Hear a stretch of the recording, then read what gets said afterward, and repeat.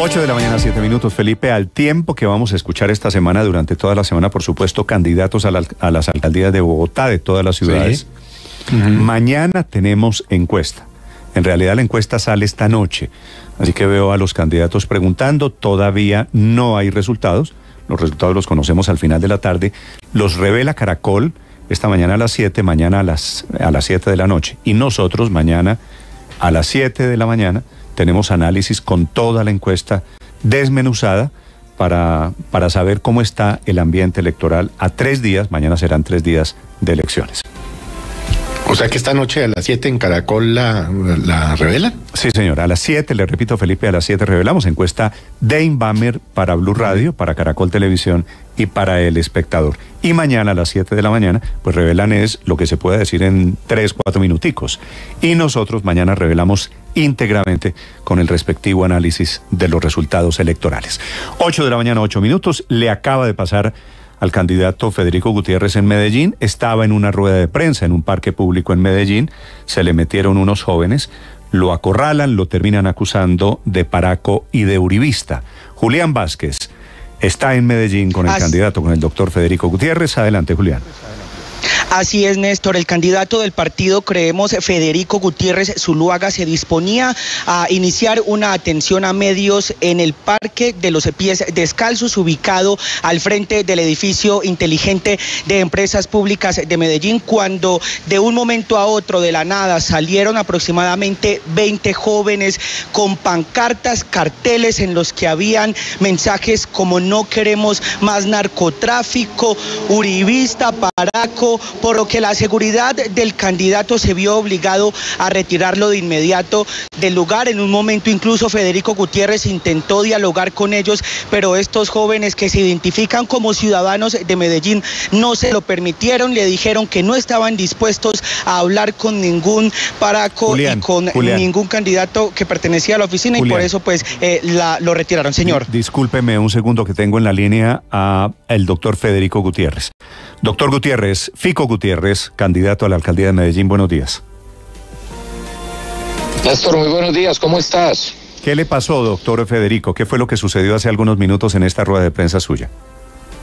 Hombre, que nos mandaron a la primera línea, a una rueda de prensa que teníamos.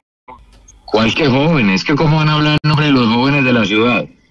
Jóvenes, jóvenes, mejor dicho, es lo que hay en la ciudad con oportunidades y lo que vamos a buscar es para ellos muchas más cosas y de violencia al que llegamos es gravísimo. Y yo se aprovecho este espacio, Néstor, para pedirle al presidente Petro que controle a su primera línea. ¿Qué garantías tenemos a cinco días de elecciones? Los candidatos que nos hemos declarado en oposición a su gobierno. Pero acláreme. Entonces nos mandan a la primera línea, llegan allá, no dejan hacer la rueda de prensa. En eso estamos hoy en Medellín. ¿Cómo sabe usted que estos muchachos que lo interrumpieron hace algunos minutos son de primera línea? Néstor, Hace pocos días, la misma primera línea sacó un comunicado donde decía que a toda costa tenían que evitar que nosotros llegáramos a la alcaldía. Y yo le digo algo, nosotros estábamos en una rueda de prensa al frente de PM, porque estábamos ahí hablando con los trabajadores de PM, yo diciéndoles aguanten estos dos meses, vamos a recuperar la empresa. Y cuando, como lo cuenta la persona tuya, tu equipo periodístico que yo acabo de escuchar, de la nada salen con, con pancartas, con carteles, algunos eh, tapando de la cara, y yo les digo, venga, hablemos. Muchachos, les propongo que no tenemos nada que hablar. Aquí no vinimos a hablar. Y yo listo. Y ahí fue donde la seguridad tuvo que tomar una decisión y cancelar la rueda de prensa. Pero Néstor, yo lo que quiero decir es, que estamos entrando a un nivel de degradación de la democracia. Estamos entrando a un nivel donde aquí entonces es agresiones y mentiras. Y así va cerrando esta campaña en Medellín. Quienes generaron odio en Medellín, quienes están instrumentalizando a tantos jóvenes para la violencia, pues nosotros les decimos no y no nos vamos a prestar para esa violencia. Aquí lo que vamos a tener es oportunidades para los jóvenes y para la gente de Medellín. Lamentablemente nos tocó hacer eso. Por seguridad de todos. ¿Cómo le parece a lo que llegamos? Sí, me parece que es el, el cierre de una campaña que ha estado llena de personalismos, llena de ataques personales, llena de golpes bajos. La verdad, le confieso, doctor Fico, es que no me sorprende mucho, porque pues cada vez que aparecen estos insultos, lo primero que dicen es facho, paraco, uribista, narco. que era, tengo entendido, lo que le estaban gritando a usted. Claro, eso es lo que gritaban. Y que falsos positivos. Hombre, yo cuando en la vida, por Dios, hombre, si alguien ha rechazado los falsos positivos soy yo. Es que cómo va a poder estar yo de acuerdo con eso, pero es que es un relato que ya tienen básicamente escrito y que los instrumentalizan para la violencia. Llegan con carteles, llegan con pancartas, llegan agrediendo y llegan es a generar violencia, no llegan a hablar. Más yo les propuse un diálogo.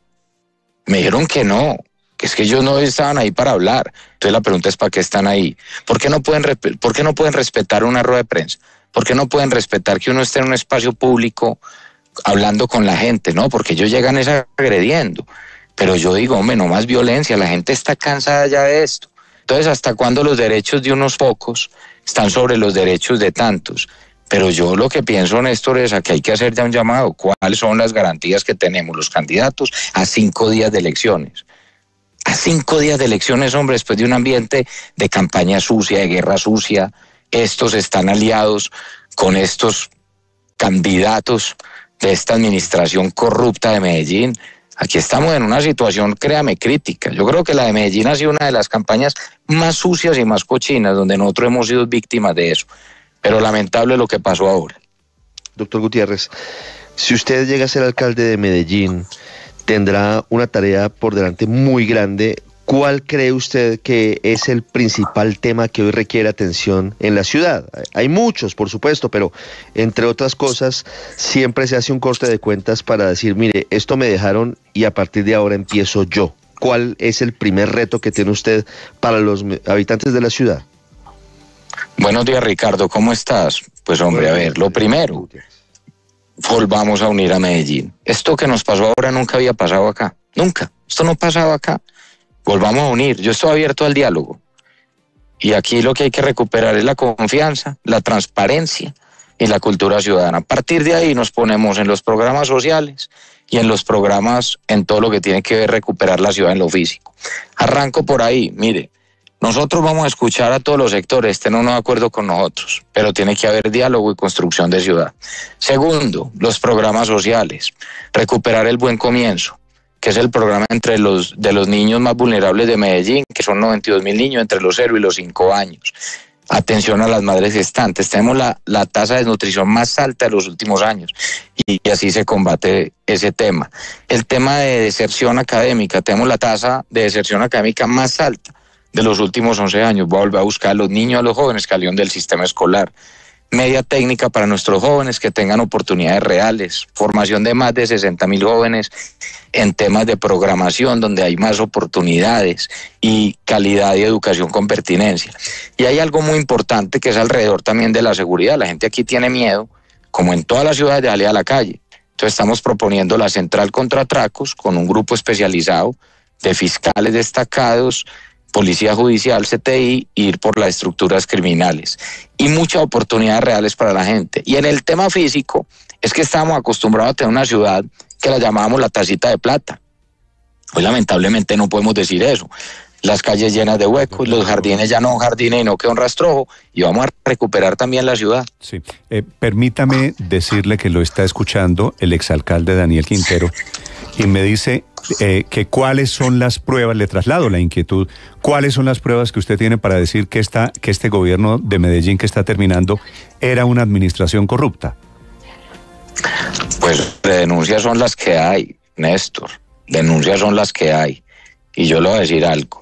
Aquí nosotros hemos dicho algo y es, difícilmente se podrá hacer un empalme en condiciones normales, con los niveles de corrupción y denuncia que hoy hay.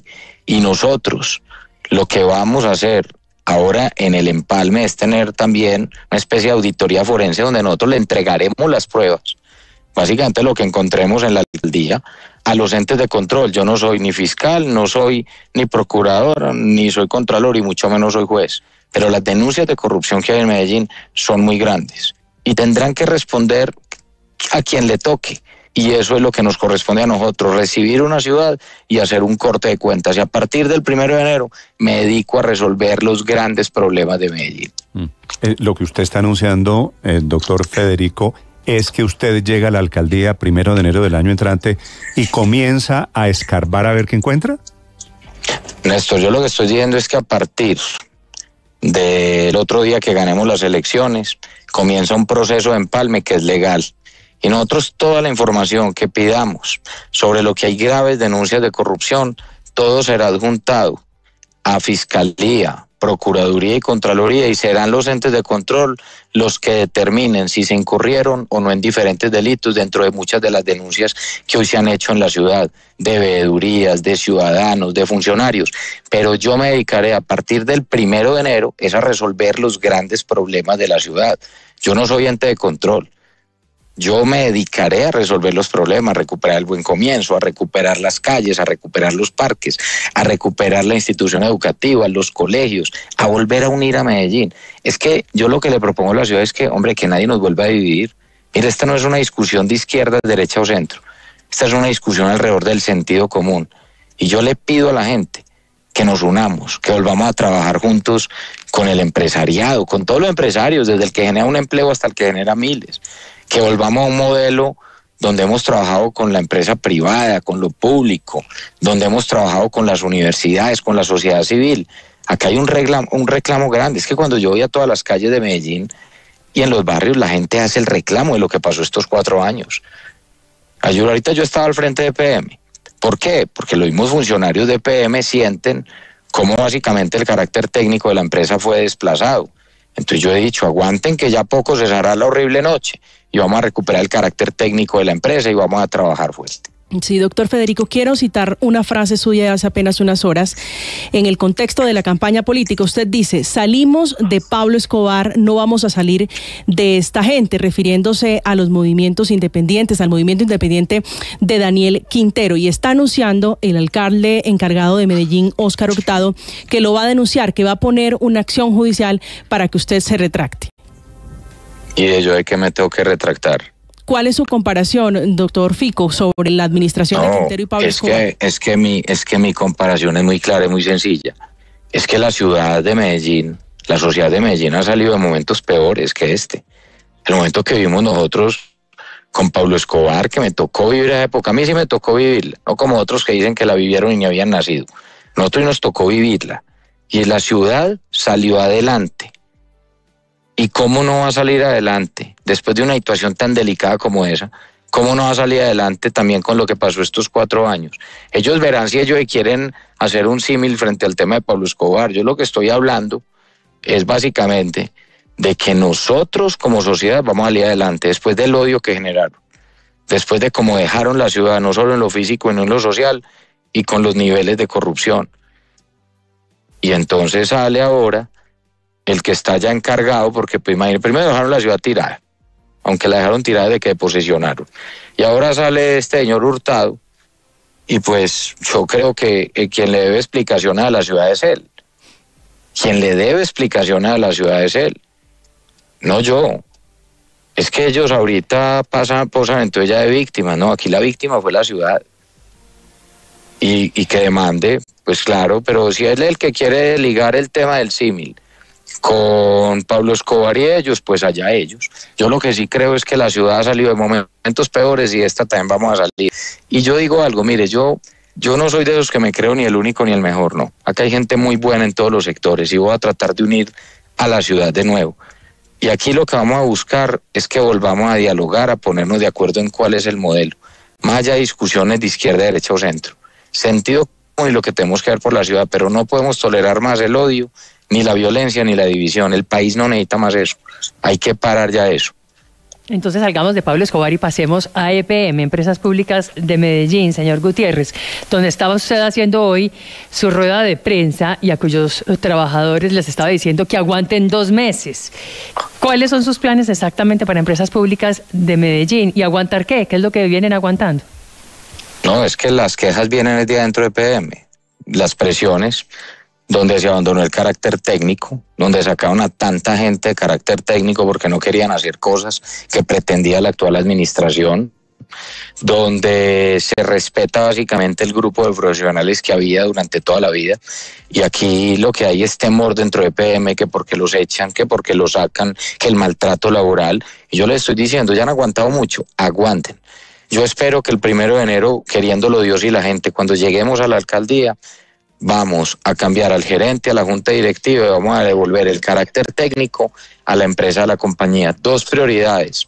Primero, terminar Hidroituanco. Yo me alegro mucho la noticia, por ejemplo, de que las pruebas de la turbina número 3 hayan salido exitosas. Ahora la tarea es terminar la 4 y terminar las otras cuatro turbinas hasta llegar a la octava que generen 2.400 megavatios de energía. Ese es el seguro energético del país. 2.400 megavatios de energía, el 17% de la energía del país. Revisar temas como los de Afinia que son fundamentales y todas las filiales.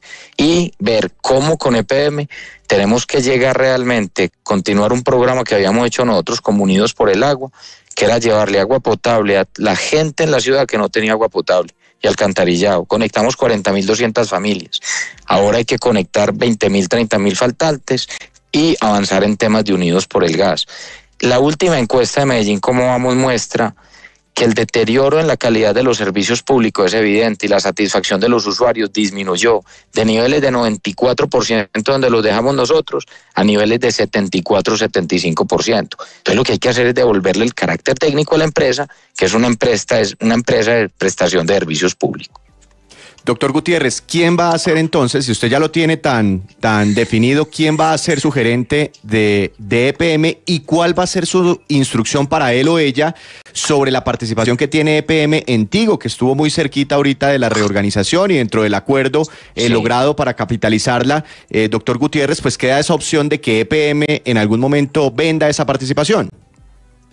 Bueno, acá hay dos elementos. Lo primero es que pues hay un perfil que es el que debe cumplir, sea un hombre o una mujer que tenga el perfil para ser gerente de PM y lo anunciaré pues ya en su momento debido. Lo que hay que hacer es primero avanzar este proceso, ganar la elección empezar a decir ya los nombres de quienes van a ocupar los cargos. Una persona que garantice transparencia 100% en los procesos de EPM. Segundo, que devuelva el carácter técnico y el ambiente laboral y por supuesto las decisiones técnicas para recuperar la calidad de la prestación de servicios públicos. Y el tema de UNE es fundamental. El tema de UNE, después de tanto alboroto que decían que no iban a capitalizar, que lo cogieron como un caballito de batalla también de campaña, terminaron capitalizando, que era lo que había que hacer y pusieron 600 mil millones de pesos entre Milico y EPM, EPM puso la mitad. Hay una cláusula de protección de patrimonio que está aplicada hasta el 2026. Hay que revisar bien esto con detalle, pero ¿qué pediremos nosotros a la Junta Directiva y al equipo de EPM? Que se revise básicamente con un estudio técnico que hay que hacer con las acciones de EPM en Tigo UNE si esto significa un riesgo para el patrimonio público, se debería presentar un proyecto al Consejo de Medellín para que sea discutido allá, pero todo tiene que... Sí. Es técnico. Claro, candidato, hablemos ahora del tema de seguridad, porque en Medellín y el área metropolitana avanza un acercamiento de la llamada paz total de la oficina del alto comisionado Danilo Rueda, con muchos cabecillas de los combos delincuenciales que incluso fueron capturados en su gobierno. Si el domingo usted es el nuevo alcalde de Medellín, ¿qué va a pasar con ese proceso que podría dejar en las calles a esos cabecillas que ya estaban capturados? Bueno, ese tema es fundamental no solo para Medellín, sino para todo el país, y es la discusión alrededor de la paz total. Lo primero que yo he preguntado y que creo que debe aclarar el gobierno nacional es bajo qué marco jurídico están negociando y qué están negociando. Porque frente a estas bandas no es un proceso de paz, sino que es un tema también de sometimiento. Se necesita una ley de sometimiento, aunque ellos ya están ahí sometidos, ojo, los, los, los jefes de estructuras criminales están los que capturamos están reunidos en Itagüí negociando con el gobierno nacional. Dos cosas. ¿Qué están negociando? Yo he pedido además que las víctimas hagan parte de ese proceso. Las víctimas en la ciudad de Medellín y de muchas otras ciudades que han sido víctimas de esta gente de acá. Y algo fundamental es que si el gobierno nacional tiene un marco jurídico y puede llegar a un acuerdo que el gobierno nacional tiene esas competencias, allá ellos. Yo me comprometo, es como alcalde de Medellín, a que si llegan a un acuerdo a que si tienen voluntad de paz, lo primero que les digo hoy, dejen de asesinar, dejen de extorsionar, dejen de reclutar, dejen de desplazar gente y que si tienen esa voluntad de paz y logran un acuerdo con el gobierno, yo como alcalde de Medellín, a partir del primero de enero me comprometo a que a través del programa Parceros que ya tenemos diseñado, implementaremos una estrategia de resocialización y me encargaré de los más de 8 mil jóvenes, personalmente me encargaré de ese programa, de los más de 8 mil jóvenes que hacen parte de estructuras criminales, que no los devuelvan y que nosotros, a partir de un proceso de resocialización, que vuelvan a la vida civil, jamás en su vida vuelvan a empuñar un arma, que tengan oportunidades de educación, de empleo, de emprendimiento, sin que esto implique que se le quite un sol, una sola oportunidad a un joven que jamás en su vida, en su vida haya delinquido. Se tienen que dar las dos cosas al mismo tiempo, pero ojalá se logre la paz y la tranquilidad en Medellín, que dejen de hacer daño a la gente. ¿Cómo, ¿Cómo va a manejar, doctor Gutiérrez, la persecución de los jefes de, de combos delincuenciales en medio de lo que significa ese limbo de la paz total. Al final, en su administración pasada, si usted llegara a ser alcalde en esta ocasión, ¿repetiría la misma estrategia que, entre otras cosas, produjo las capturas de varios de los, de los cabecillas que hoy, curiosamente o paradójicamente, están en esos diálogos con el gobierno del presidente Gustavo Petro? ¿Eso se vería afectada, esa estrategia de, de ir por los jefes de las bandas, de los combos, se vería afectada por cuenta de la paz total? Pues lo primero que habría que pedirle al presidente es que la paz total no signifique nunca impunidad total, ni mucho menos que signifique entonces que la gente queda a merced de las estructuras criminales, porque es que la gente sigue, ellos siguen matando, siguen desplazando, siguen reclutando jóvenes, siguen extorsionando, la gente en Medellín hoy tiene miedo. Mire, uno va al Boulevard de Castilla, va al corredor de la 45 en Manrique, va a Robledo, va a Belén, y ya están pasando por los negocios diciéndole no solo la cuota de este mes de la extorsión, sino que les dicen prepare la prima para diciembre. No hay derecho. Entonces, yo lo que he dicho es, yo, aquí nadie se puede negar a la paz, aquí nadie puede negar la paz, pero que sea una paz donde se haya voluntad de paz no que sea una paz que ellos utilizan, una negociación, para fortalecerse como lo hacen el ELN, Clan del Golfo, disidencias FARC, y que no termine pasando lo mismo en las ciudades y que terminemos en una, una inacción donde la gente lo que tiene es miedo. El presidente Petro tiene que dar línea. La fuerza pública tiene que seguir haciendo trabajo, la fiscalía tiene que seguir investigando, a la par que se dan las negociaciones. No puede terminar esto en que es un fortalecimiento de las estructuras criminales. Es que la paz, el tema de la paz total hay que analizarlo en conjunto, no solo el tema de Medellín. Es lo que está pasando con disidencias FARC, con ELN, con Clan del Golfo. La gente en los territorios se siente abandonada. La fuerza pública, Néstor, ningún general le va a decir a ustedes hoy, pero cuando usted habla con la fuerza pública, no saben qué hacer, están maniatados, no saben qué hacer. Entonces yo creo que tiene que haber una orden de garantizar la seguridad de la gente. Escuchan ustedes a Federico Gutiérrez, es candidato a la alcaldía de Medellín, son las 8 de la mañana, 29 minutos. La última pregunta para Federico, para Fico Gutiérrez, Felipe. Sí, doctor Fico, ¿cómo va a manejar el tema de la movilidad que al igual que en Bogotá es un caos? Felipe, un abrazo. Hombre, acá hay dos cosas. Primero, en temas de infraestructura, dos proyectos estratégicos. Corredor de la 80, que es el metro de la 80, que da una solución de movilidad a todo el occidente de la ciudad. Es un corredor de más de 12 kilómetros de sistema tranvía o metro a nivel que ya tiene documento COMPES, donde el 70% de los recursos lo aporta la nación y el 30% el municipio. Esperemos que cumpla con el compromiso de parte de la con el presidente Petro, que propone de ciudad, una agenda de país, más allá de las diferencias que podamos tener en la orientación que tiene el país él con lo cual no concordamos, pero que le ayude a la ciudad. Proyecto secundario, no menos importante, tren del río, proyecto que a través del eje del río, de norte a sur, conecte todos los municipios del área metropolitana. Los 10 municipios nos ayuda a desaturar además la línea del metro, que está saturada en horas pico, y conectividad metropolitana. Será fundamental el tema de la integración física y tarifaria de todo el sistema, que la gente con un solo tiquete se pueda movilizar por todo el sistema, sea en bus, sea en metro, sea en cables, y poder avanzar. En gran parte de las rutas está, eso es un proceso que ha tardado años, Néstor, mm. pero todavía falta terminar la integración física y taritaria y tarifaria en todos los barrios y niveles de Medellín. Hay un tema también en riesgo que es el Fondo de Estabilización de Tarifa, que es una deuda cercana a más de no, casi 100 mil millones de pesos que debe el gobierno actual porque al metro se le paga una plata del Fondo de Estabilización de Tarifa. Justamente nace eso cuando entran las cuencas 3 y 6 del Metro Plus para estabilizar tarifa y no trasladarle mayor precio al usuario y el municipio ha asumido eso. Hoy se le debe casi 100 mil millones de pesos al Fondo de Estabilización de Tarifa. Entonces son muchos temas que hay que llegar a organizar. Tenemos el metro, tenemos más proyectos y bueno, la movilidad sostenible, los andenes, las ciclorrutas y el tema también de cultura ciudadana. Muchas veces, en muchas vías es un tema también de control hay tres carriles y uno está ocupado porque los carros están ahí parqueados. Eso tampoco puede pasar. Pero bueno, ya es parte pues de lo que está en el programa de gobierno. Vale, y eso es lo que va a juzgar la ciudadanía el próximo domingo. Doctor Gutiérrez, doctor Fico Gutiérrez, gracias por acompañarnos esta mañana desde Medellín.